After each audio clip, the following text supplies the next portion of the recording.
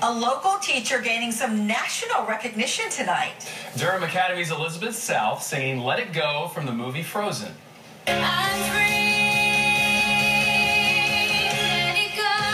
She's one of 15 finalists in Ryan Seacrest's March Music Madness competition. South teaches music and drama at Durham Academy. She recorded the video because her kids wanted to sing Let It Go for a recital.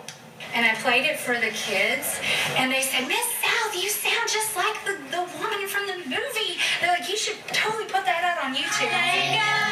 Tomorrow, the five singers with the least amount of votes will be eliminated, so you have to vote for her.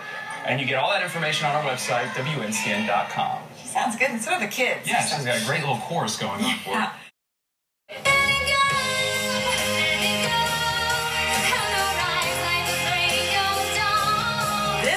Academy teacher is also facing some fierce competition. Elizabeth South is taking part in a national singing contest. She is one of 15 finalists in Ryan Seacrest's March Music Madness competition. She recorded this YouTube video because her kids wanted to sing Let It Go for a recital. And I played it for the kids, and they said, Miss South, you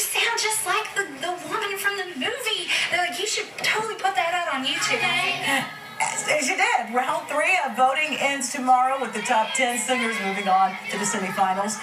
You can cast your vote. We've got all the info on our website, WNCN.com.